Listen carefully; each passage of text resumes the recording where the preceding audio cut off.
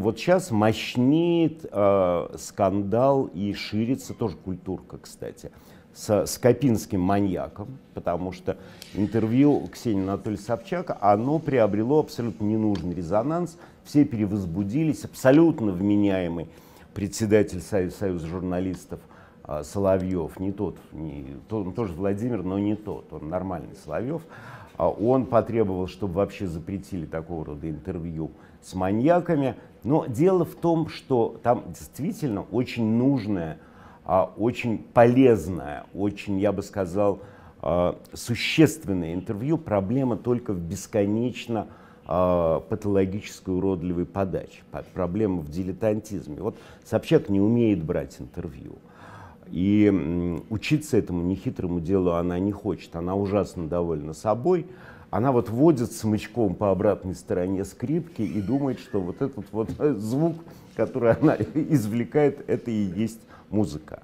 А, а брать интервью это очень тонкое и сложное дело. Это как брать пункцию, да? Это как брать кровь. Надо взять что-то, что будет а, уникальным образцом у этого ремесла есть законы. Вот Собчак этого делать не умеет, поэтому и скандал, поэтому загадка. Поэтому все окрасилось в такие патологические цвета. И непонятно, я вот начало посмотрел, я не понял, то ли она просится к нему в подвал на пару месяцев, то ли она провоцирует несчастного маньяка на эрекцию любым способом. Ну вот, вот разница, вот почему нельзя такого делать. Представь себе, вот лабораторная лягуха, да?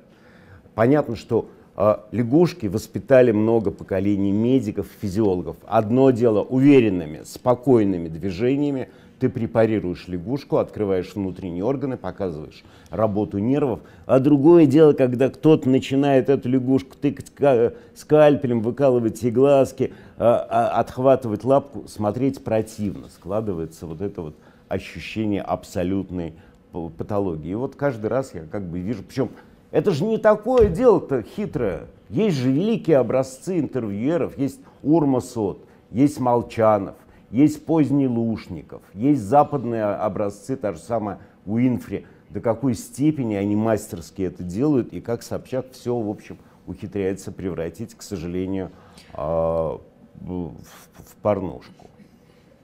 Александр Глебович, ну вы-то наверняка в жизни своей беседовали с э, людьми, которые вам интересные, но э, достаточно опасные и э, неприятные. Это же, это же интересно, на самом деле. Вы э, это интересно, но задача наша из такого человека изготовить препарат. Препарат для дальнейшего изучения, некий экземпляр коллекции, для того, чтобы не только я и не только ради хайпа, а для того, чтобы это можно было взять и изучать и исследовать. Это крайние образцы человеческого поведения, фиксировать которые необходимо, но надо же делать это грамотно, а не плодить эту дилетантщину.